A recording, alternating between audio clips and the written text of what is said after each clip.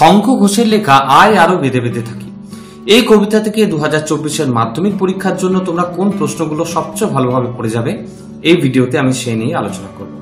আজকের মূল ভিডিও শুরু করার আগে তোমাদের কাছে ছোট্ট একটা অনুরোধ। ভিডিওটাতে একটা লাইক করে দিও আর চ্যানেলে নতুন হয়ে থাকলে আমাদের ইউটিউব চ্যানেলটাকে সাবস্ক্রাইব করে পাশে থাকা বেল আইকনটা ক্লিক করে অল বটনটাকে সিলেক্ট করে রেখো। আয় আরও বেঁধে বেঁধে থাকি কবিতা থেকে তোমাদের দু হাজার চব্বিশের মাধ্যমিকের জন্য সবচেয়ে ভালোভাবে রেডি করতে হবে প্রশ্নমান পাঁচের প্রশ্ন। প্রশ্নমান পাঁচের এই প্রশ্নটা দেখো। আয় আরও বেঁধে বেঁধে থাকি। কে কাদের উদ্দেশ্যে এই আহ্বান করেছেন? বেঁধে বেঁধে থাকা বলতে কি বোঝানো হয়েছে? বক্তা, বেঁধে বেঁধে থাকার প্রয়োজনীয়তা অনুভব করেছেন কেন? এই প্রশ্নটা খুব ভালোভাবে তোমাদেরকে রেডি করতে হবে। আর এই প্রশ্নটা যদি তোমরা ভালোভাবে রেডি করো, তাহলে এই কবিতার যদি আসে যে কবিতার মূল বিষয়বস্তু লেখো, তারও উত্তর তোমরা দিতে পারবে। যদি আসে যে কবিতার নামকরণে সার্থকতা লেখো, আয় আরও বেঁধে বেঁধে থাকি, এই কবিতাটির নামকরণে সার্থকতা আলোচনা করো, তাহলেও তোমরা তার উত্তর খুব সহজেই লিখতে পারবে। আমরা দেখে নেব পরবর্তী প্রশ্ন। আমাদের পথ নেই আর, আমাদের পথ নেই কেন? কার এমন মনে হয়েছে? এমন মনে হওয়ার কারণ কি?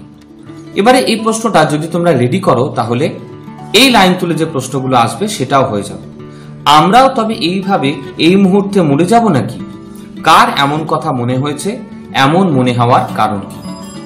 আয় আরও বেঁধে বেঁধে থাকি কবিতা থেকে এই দুটো প্রশ্ন তোমাদের ভালোভাবে রেডি করতে হবে প্রশ্নমান পাঁচের।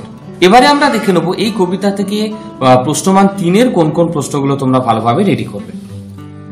আমাদের ইতিহাস নেই, অথবা এমনই ইতিহাস। আমাদের বলতে কাদের কথা বলা হয়েছে? আমাদের ইতিহাস নেই কেন? বা উক্তিটির তাৎপর্য বিশ্লেষণ করো। প্রশ্নমান তিনের পরবর্তী প্রশ্ন। আমাদের শিশুদের সব ছড়ানো রয়েছে কাছে দূরে। আমাদের বলতে কাদের কথা বলা হয়েছে? শিশুদের সব কথাটি ব্যবহারে তাৎপর্য কি? আয় আরও বেঁধে বেঁধে থাকি কবিতা থেকে তোমাদের প্রশ্নমান তিনের পরবর্তী প্রশ্ন। পৃথিবী হয়তো বেঁচে আছে, পৃথিবী হয়তো গেছে মরে। উক্তিটির তাৎপর্য ব্যাখ্যা করো, বা কবি কথা বলেছেন কেন? তাহলে আয়ারও বেঁধে বেঁধে থাকি কবিতা থেকে তোমাদের মাত্র কয়েকটা প্রশ্ন আমি দিলাম। এই প্রশ্নগুলো খুব ভালোভাবে তোমরা রেডি করো।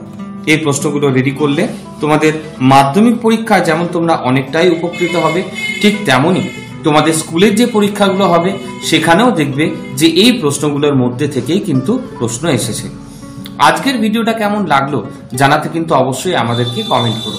ভিডিওটা ভালো লেগে থাকলে লাইক করে দিও, চ্যানেলে নতুন হয়ে থাকলে। আমাদের ইউটিউব চ্যানেলটাকে সাবস্ক্রাইব করে পাশে থাকা বেল আইকনটা ক্লিক করে অল বটনটাকে সিলেক্ট করে রেখো। এই রকমই গুরুত্বপূর্ণ ভিডিও প্রতিদিন পাওয়ার জন্য। আর এই ভিডিওগুলো বন্ধু বান্ধবদের সাথে শেয়ার করতে কিন্তু একেবারেই ভুলো না।